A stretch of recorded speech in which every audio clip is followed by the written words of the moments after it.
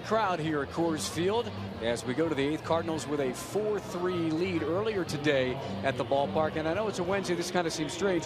Off day for the Broncos because they play Monday Night Football coming up against the Raiders. And a couple of the Broncos made a visit and took some BP Duke Ihenacho the safety and Omar Bolden got into the cage took some swings.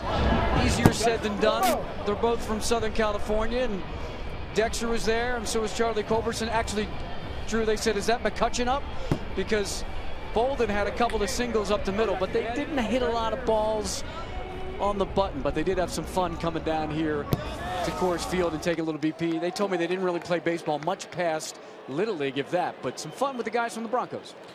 You know what? Listen, it's okay. They can stick with what they're doing because they're doing it really well right yeah, now. Yeah, everybody Duke, over there. Duke Ihenacho may not be able to hit a baseball real well, but he will hit you if you have the football. And Omar